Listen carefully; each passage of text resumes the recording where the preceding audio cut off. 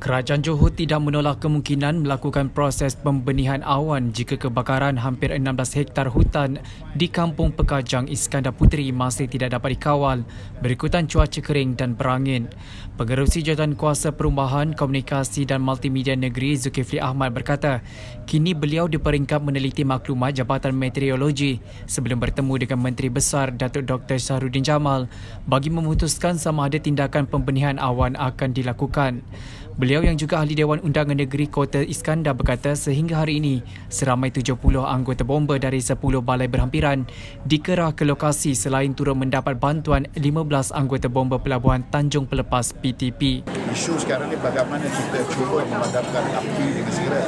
Uh, tetapi malamnya bila kita membuat lawatan udara dengan udara helikopter bomba baru-baru ini uh, tidak ada sumber air uh, sumber jadi ada uh, parit ataupun tasik di sana. Uh, air parit pun hampir kering kerana cuaca musim kering sekarang ini.